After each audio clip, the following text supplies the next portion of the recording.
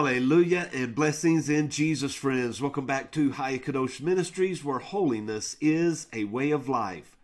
Jesus is truly King of Kings and Lord of Lords, and the Holy Bible is our only standard and authority for truth. And together, God's people say, Hallelujah. Well, friends, a quick note before we jump into our study today. I received an email from John MacArthur's Ministries informing me that I needed to take down the videos that I had uploaded on the Strange Fire conference. And the reason for that is that I can edit those once they're on my computer and I can make them say anything they want. So, what they've allowed me to do is to directly link to their website and we can watch those videos. So, if you'll go to our ministry's website, Hayakadosh Ministries on YouTube.com.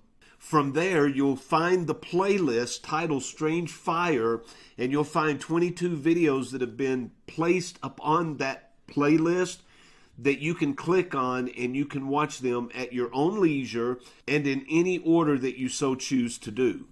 But again, I strongly encourage that you watch these videos because as Hosea chapter 4 verse 6 tells us, my people perish for lack of knowledge as so many are being misled because they do not fully understand what is going on, if this is an attack, and where it may be coming from. And so, again, just simply go to our website, click on the playlist titled Strange Fire, and you'll find all the videos within that playlist. Well, with that being said, today is January the 23rd in the year of our Lord 2017, and this is One a Day for the Soul. Now, we're continuing our journey through the story of the Bible, and today we're going to pick up in chapter 40, verse 1. And so, if you have your Bible, turn to Genesis chapter 40, and let's pick up together in verse 1. Now, we are told it came to pass after these things that the butler of the king of Egypt and his baker had offended their lord, the king of Egypt. Now, remember, Joseph has been placed in prison. He was sold by his brothers into slavery. Those slave owners sold him to Potiphar, who is an official in the kingdom of Pharaoh. Potiphar's wife accuses Joseph of rape. As an innocent man, he's cast into prison. While he's in prison, he's made a trustee. And while he is in prison, he meets the baker and the butler of the king of Egypt, of Pharaoh himself. And Pharaoh in verse 2 was angry with the two of his officers, the butler and the baker. And so he put them in prison where Joseph himself was bound, where Joseph was a trustee. And so because Joseph was a trustee, he served the, the butler and the baker. He tended to their needs. Now in verse 5 it tells us they dreamed a dream, both of them, and each man had his dream in one night. Well, when Joseph came to them to tend to them the next morning, he noticed that their countenance had fallen, and so he asked them, Why did they look so sad? And they said unto him in verse 8, We've dreamed a dream, and there is no interpreter of it. And Joseph said, Do not interpretations belong to Yahweh, to the Almighty, to the Creator of men, who is the Creator of dreams? Tell me them and I will go to God on your behalf and get your interpretation.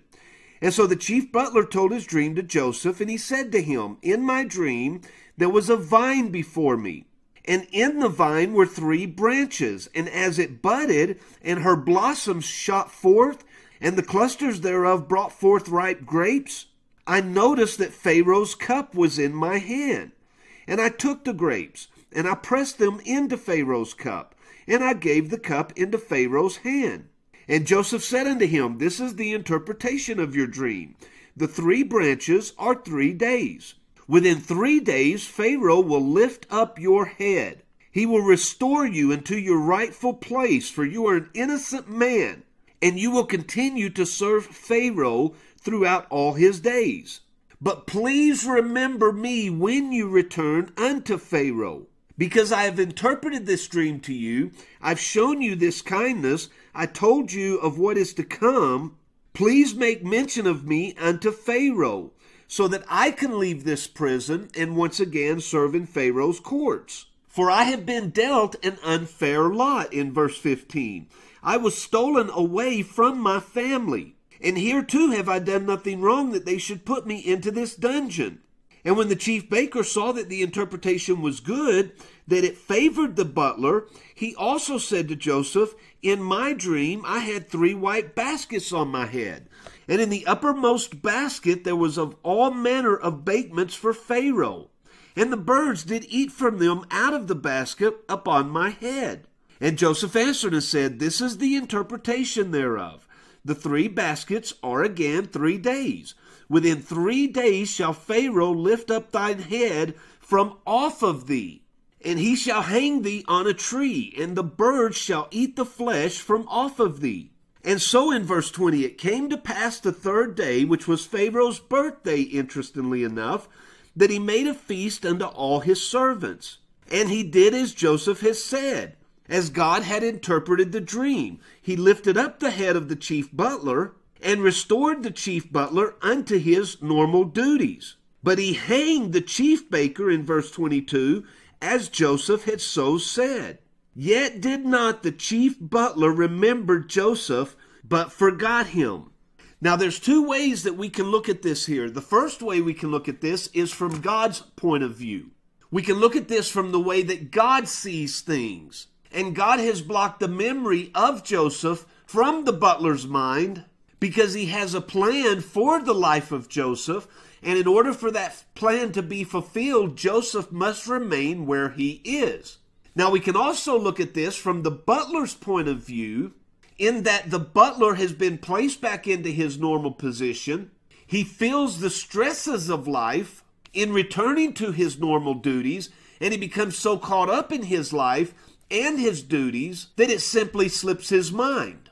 In other words, he becomes so focused upon him in his own life that he forgets Joseph, who had served him and brought him hope in his time of need.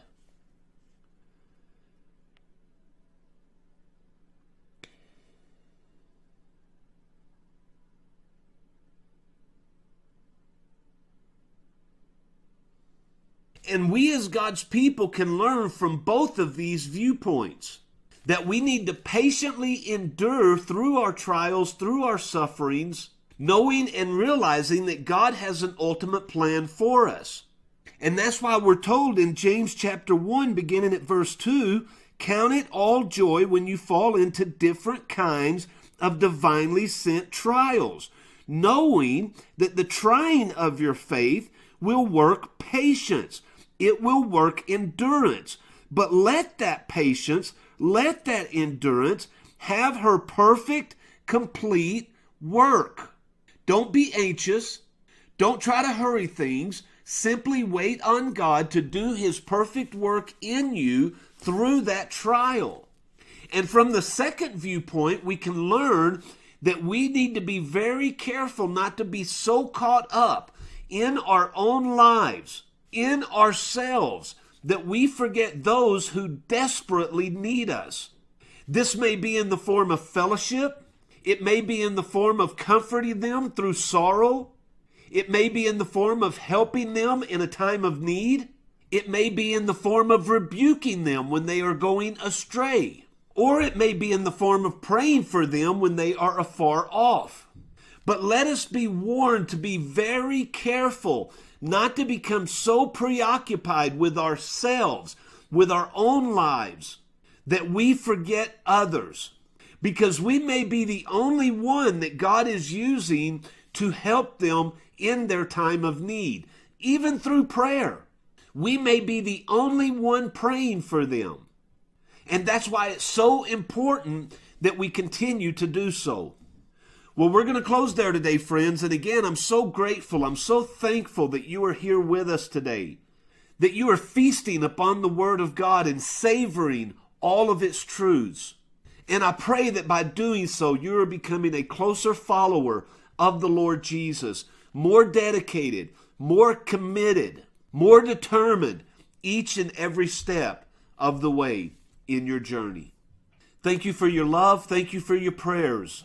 And thank you most of all for your faithfulness to the Lord Jesus. Now, as He wills, and until next time, friends, I truly love you. I'll see you on the next video.